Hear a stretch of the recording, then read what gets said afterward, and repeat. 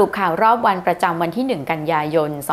2565 นะคะ นายอนุชาบุรพชัยศรีรองเลขาธิการนายกรัฐมนตรีฝ่ายการเมือง ปฏิบัติหน้าที่โฆษกประจำสำนักนายกรัฐมนตรี เชิญชวนประชาชนผู้มีสิทธิ์ในโครงการคนละครึ่งเฟส 5 เริ่มใช้สิทธิ์ได้ตั้งแต่วันนี้จนถึงวันที่ 31 ตุลาคมนี้นะคะ โดยรัฐร่วมจ่ายร้อยละ 50 ไม่เกิน 150 บาทต่อคนต่อวัน ไม่เกิน 800 บาทต่อคนสำหรับโครงการคนละครึ่งเฟส5 นะคะ รัฐบาลใช้วงเงินรวม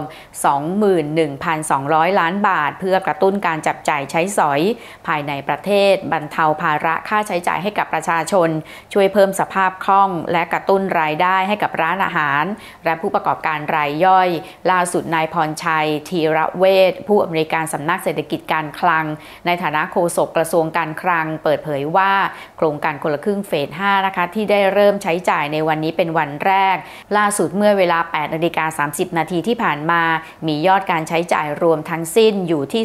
203 ล้านบาทแล้ว แบ่งเป็นโครงการคนละครึ่งประมาณเกือบ 60 ล้านบาท โครงการเพิ่มกำลังซื้อบัตรสวัสดิการแห่งรัฐ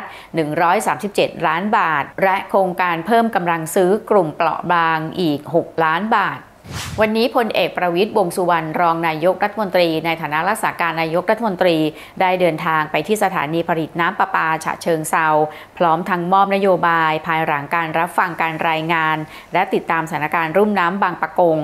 การเพิ่มปริมาณน้ำต้นทุน เพื่อการผลิตน้ำประปา เพื่อการอุปโภคและบริโภค ตามแผนแม่บทการบริหารจัดการทรัพยากรน้ำ 20 ปี พร้อมกันนี้พลเอกประวิทย์ยังระบุด้วยว่า รับรองว่าน้ำจะไม่ท่วมเหมือนปี 2554 เนื่องจากทั้งกรมชนประทาน สทนช และทั้งหมดได้ร่วมกันกระจายน้ำ เมื่อฝนตกทางเหนือก็กระจายไม่ให้น้ำท่วมตลอดเวลา เรามีกรรมการ 22 รุ่มน้ำในการกำกับดูแล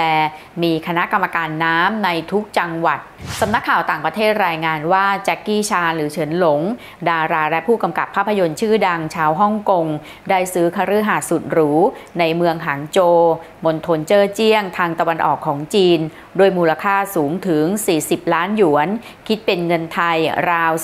212 ล้านบาท โดยมีวัตถุประสงค์เพื่อให้สะดวกต่อการเดินทางไปทำงานด้วยเฮลิคอปเตอร์ และอยู่ใกล้กับโรงถ่ายภาพยนตร์เหิงเตี้ยนเวิลด์สตูดิโอซึ่งเขากำลังถ่ายทำภาพยนตร์ในเรื่องล่าสุดด้วย รายงานข่าวแจ้งว่าเฉินหลงในวัย 68 ปี ได้จัดงานเลี้ยงฉลองขึ้นบ้านใหม่ เมื่อช่วงสุดสัปดาห์ที่ผ่านมา ซึ่งภายในงานยังมีการเชิดสิงโตด้วย